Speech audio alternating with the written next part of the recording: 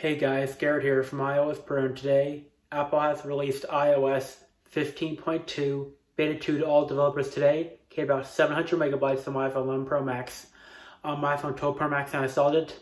Build number is 19C5036E and there are about 4 to 5 changes that I found in this update today. So let's get started.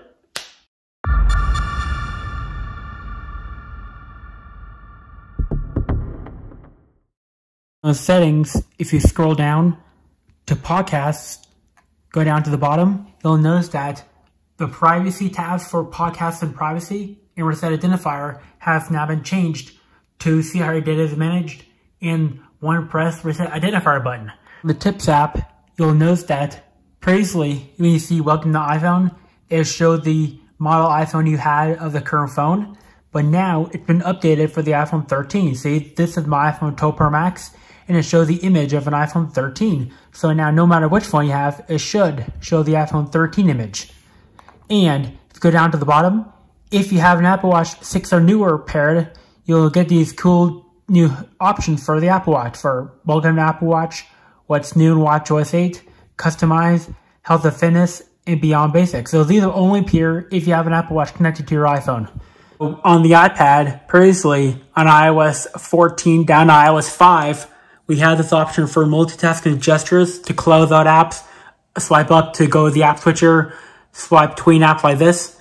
But now, Apple's made a comeback and brought that back with gestures, which is down underneath the option for keyboard.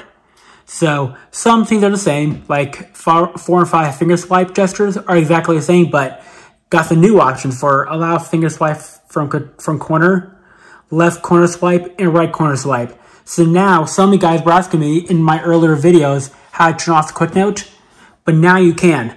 From left corner swipe, you turn it off, and right corner swipe. So when you turn both corner swipes off, you basically turn off the quick note. See, now I can no longer open quick note from the corner. So that's pretty much how turn off quick note. But some gestures are still the same, like the closing out app with five fingers. That's the same opening up apps from the app switcher exactly the same. And going between apps like this is exactly the same. So some gestures are the same, but you just got some brand new options. So interesting. So that's pretty much it for this video. If you liked the video, give this video a thumbs up. See video. Peace out.